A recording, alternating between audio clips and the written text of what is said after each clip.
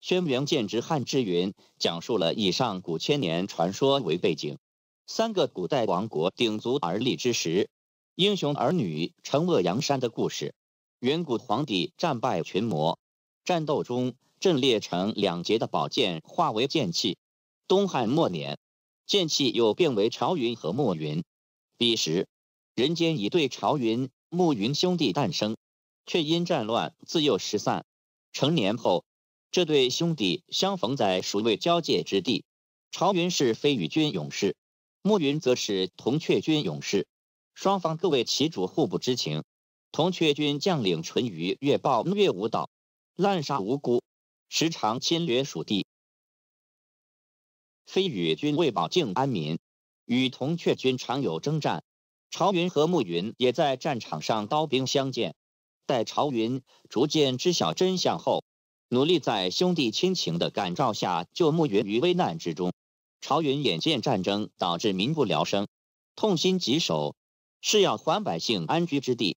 他们在部族少女耶亚西帮助下，历尽艰险，克服种种困难，找到了象征正义的皇帝剑及精神力量，坚定了心中战胜邪恶、保卫和平的信念。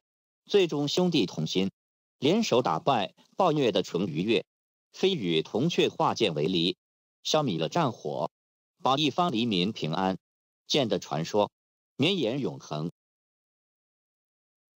由张云龙扮演的朝云，重情重义、倜傥的俊美青年，羽之部的领导者。幼年和弟弟暮云母亲失散，流落姚汉，后来投军，成为飞羽持节之首，常为了百姓和同伴，违抗军令，涉险。最初不喜欢耶亚西，在相处过程中，二人逐渐生死相许，成为情侣。在得知暮云是自己的弟弟后，陷入两难。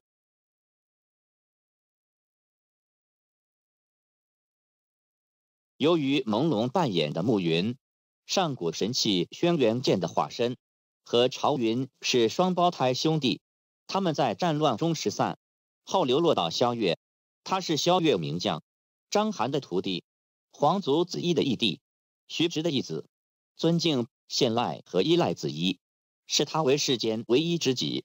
和章邯府中的捧剑侍女兰因，青梅竹马，私定终生，是铜雀尊者中最强的白衣尊者。